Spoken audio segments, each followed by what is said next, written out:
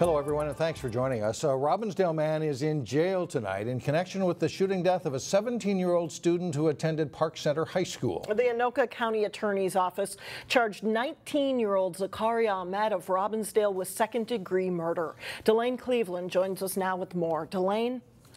Mike and Alex, the charges against Ahmed were filed this morning after Minneapolis police arrested him on Tuesday.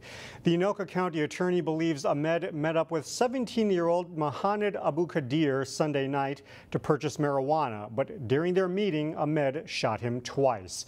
Abukhdeir was found shot to death in Fridley along the side of a road early Monday morning near where he lived.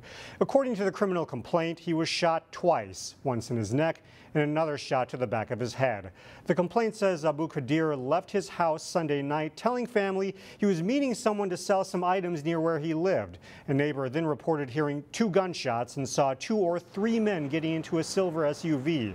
When police found Abukhdeir's body, his cell phone indicated he had exchanged text messages with Ahmed. Ahmed later reported to police that his phone and vehicle were stolen.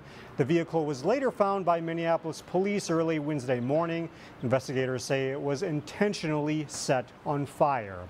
Ahmed appeared in Anoka County District Court Thursday morning. A judge set his bail at $1 million. His next court appearance is scheduled for August 3rd. If convicted, Ahmed could face up to 40 years in prison.